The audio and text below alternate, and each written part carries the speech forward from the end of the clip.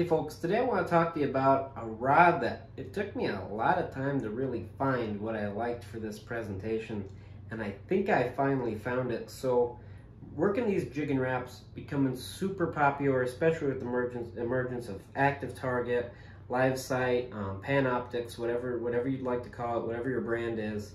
Um, I couldn't find a rod I really liked for it and finally I tied it onto this. This is a 13 Omen Black it's a six foot 10 medium light extra fast rod. And frankly, this has become far and away my favorite, my favorite rod for, for ripping Jigging Raps like this. As you can see, it has seen a lot of love. Um, working, working that bait, I've knocked a couple pieces loose, so we've got the electrical tape repairs. I actually broke the reel, so usually I would run a Shimano Sahara on it, and I broke the reel doing that, so right now it's got a Shimano Sienna.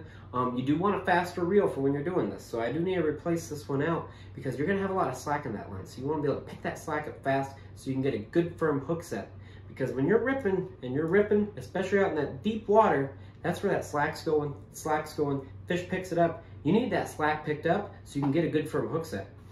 Almost knocked my hat off there. See, that's how firm you need your hooks set to be. Um, and really, it, this just this rod has felt the best because you still need a really firm backbone, but you want to have a soft tip so you can feel what's going on down there. I mean, if this thing gets fouled, if it gets turned around on itself, I can feel that through this rod, and I can certainly feel when a fish pins it down or picks it up on the fall. Um, do a lot of time, find, do your homework, find what you're comfortable with. I went through probably five or six rods before I really started liking this setup.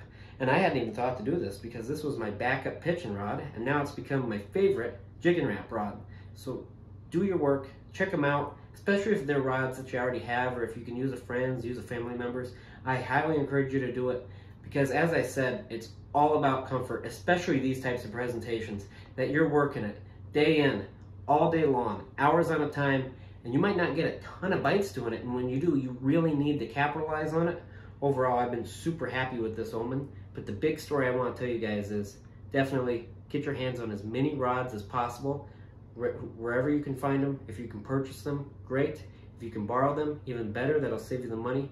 You need to find the rod you're comfortable with, especially for presentations like this. Good fishing.